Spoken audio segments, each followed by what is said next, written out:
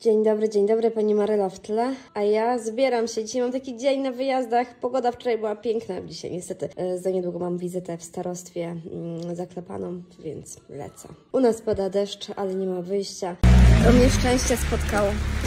Patrzcie, rączka osobna. Na śniadanko wjeżdża pinsa. Nie miałam sera, e, żeby zetrzeć, więc użyłam tego w plasterkach.